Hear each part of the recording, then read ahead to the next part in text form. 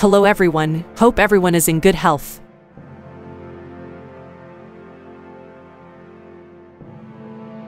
Land of thermal water.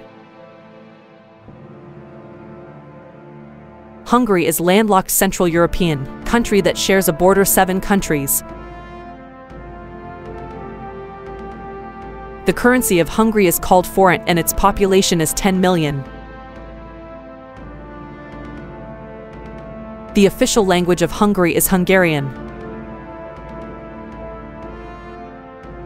It is called the land of thermal water because there are approximately 500 places in the country where thermal water occurs.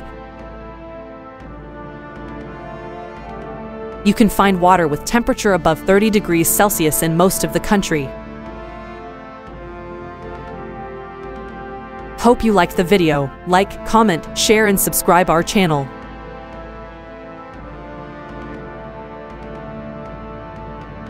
Thank you.